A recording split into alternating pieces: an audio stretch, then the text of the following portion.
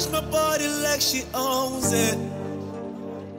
Baby girl, you